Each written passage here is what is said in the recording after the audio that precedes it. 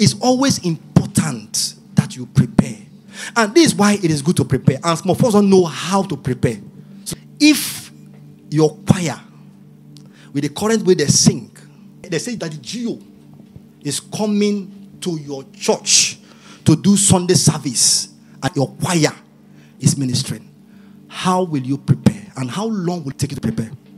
Will you appear differently on stage than before? What are Sundays? I'm only drawing a particular reason why we should prepare and how we should prepare. Now, the Jesus we claim is our reason for the worship. We don't prepare that much for him. Because if we do, we will have been a bit more rugged about preparation. I have been to churches where they are inviting not even the geo. I use the, your G.O. is, is a big man. It's too big. Of course, it requires preparation. All right? Good. But a guest artist is coming. Guest artist. And the choir will rehearse. They would beat everybody up. My mother would get angry. You are not doing this thing well. Go and practice. We are bringing uh, the message to the church. And you are there making me. If you make say, I will kill you. Message is coming on. Not your daddy Jew. We put in so much. We invest money. We change equipment. We change the piano.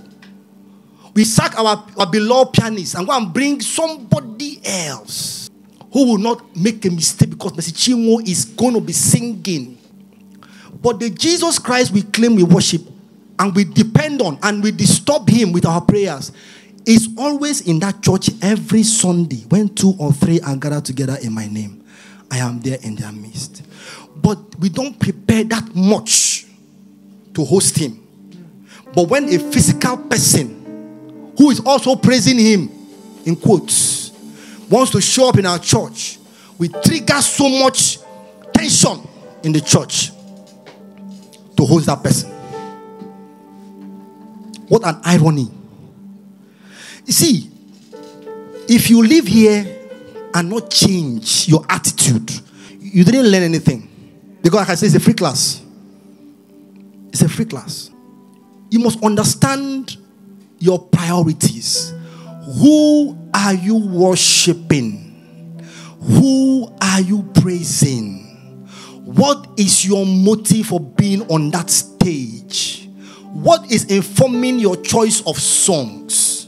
What is even affecting your dressing when you go on stage? Is it based on yourself or based on how you want to be perceived? See, Jesus should be the center of everything.